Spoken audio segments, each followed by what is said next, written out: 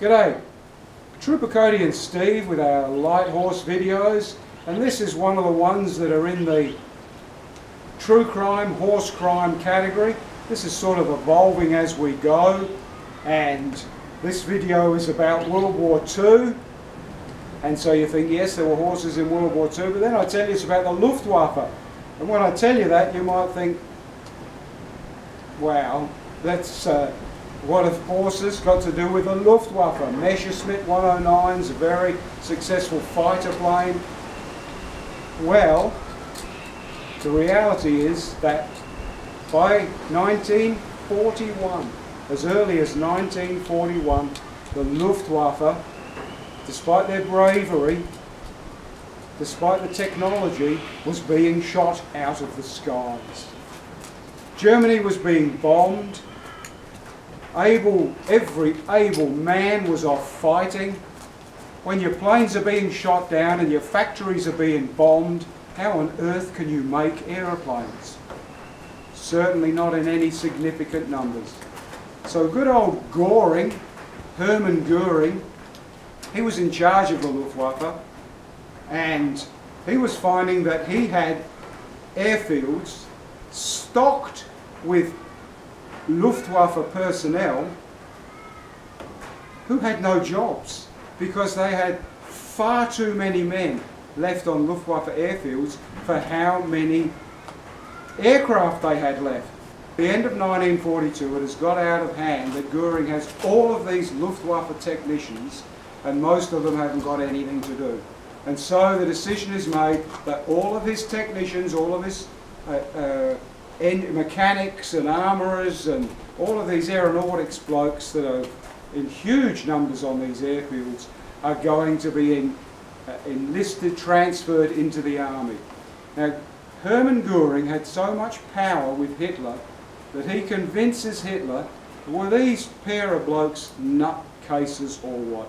He convinces Hitler that he is going to create Luftwaffe field divisions by, I'll give you an example, by the 1st of July 1943, he has 21 Luftwaffe divisions.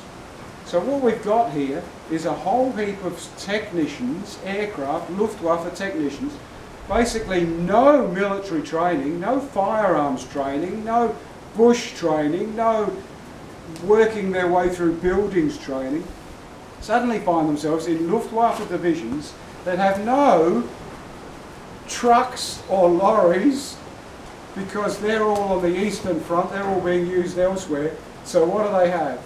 The Luftwaffe ends up with its only transport are horse-drawn wagons and horses for the officers and horses for the scouts and some limited cavalry. What complete madness. If you think it was madness, every time one of these divisions goes into combat, they are decimated. They have no idea as brave as they may have been, they are decimated in huge numbers. Do you think somebody has the courage to say to Hitler, you have got to stop this, you need to have these guys at least rudimentarily retrained and then put into other field divisions where you might have one or two Luftwaffe blokes in a platoon? No. What they decide to do then is they take senior, well-trained, experienced NCOs and officers from the field away from their battalions and they put them in the Luftwaffe field divisions. Now you tell me what is the good if you have got the best trained officers and senior sergeants and NCOs and then you give them untrained troops. You know, you just can't make a silk purse from a pig's ear. And so sadly, I say sadly because sadly for the Luftwaffe personnel who were decimated in huge numbers, sadly for those experienced officers and NCOs who had served well and then found themselves given untrained men and uh, that is the sad part. But really, in the big scheme of things, you have to say it is this sort of madness by Hitler and his hierarchy why the Second World War was won by the Allies, and thank goodness for that.